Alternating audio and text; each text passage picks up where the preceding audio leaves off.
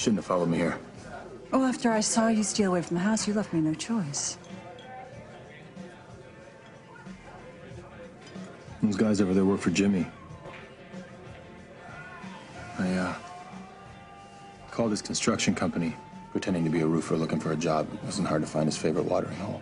All right, before you make contact with that man, there are things I have to tell you about him. I don't really want to hear it.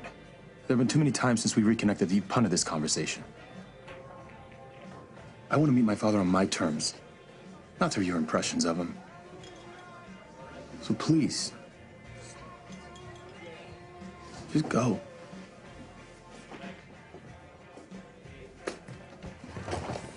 Excuse me.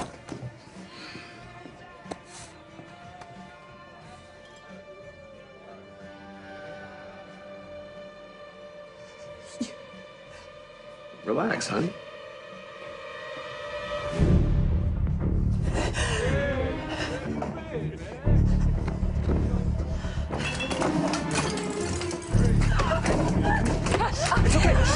It's okay. Get out of here, please.